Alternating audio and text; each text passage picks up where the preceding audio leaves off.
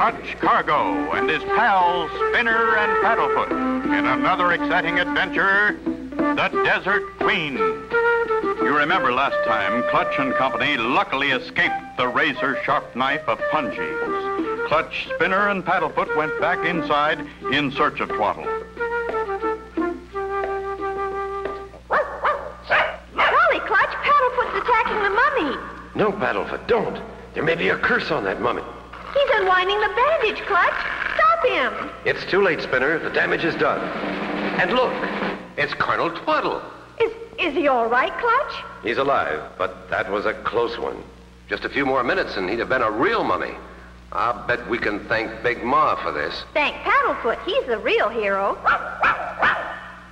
Where am I? What happened? You're going to be all right, Colonel Twaddle. That was a tight one. I'll say, just like my first tuxedo. Stay with him, Spinner. I want to look around. We've got to find a way out. Sometimes these walls have secret doors. No, no luck. I feel much better, Clutch. Raring to go.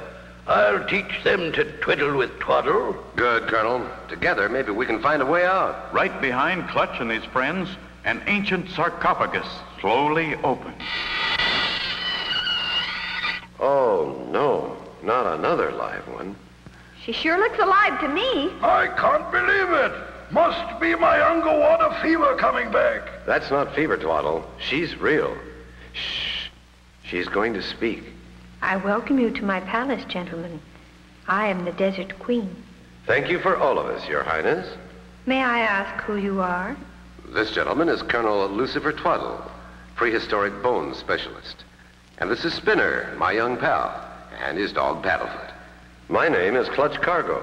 I am highly honored, sir. I have read your adventure book.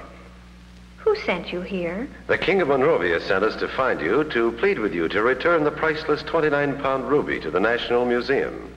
Sir, I do not have the ruby, nor have I seen it since I left it in the museum.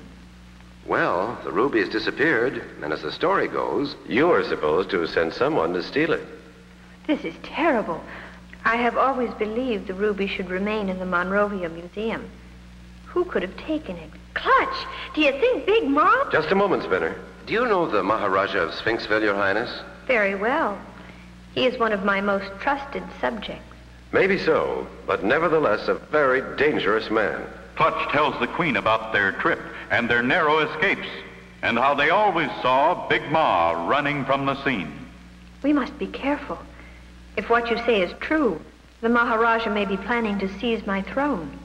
Ears have heard every word that was said, for just inside the mummy case door, a huge figure lurks. Please be quiet. These tunnels echo. Stay together, everyone. Right, Clutch. Strange man, the Maharaja, always carrying that big basket.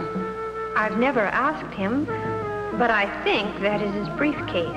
He told Spinner it was a gift for his grandson. Said it was a cobra. Right, Spinner?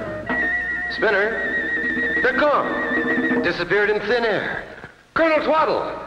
But they couldn't have gone far. Well, there's another door right. Spinner and Twaddle gone. The Queen kidnapped. And Clutch knocked out cold. Is this the end? Be sure to tune in for the next exciting episode with Clutch Cargo.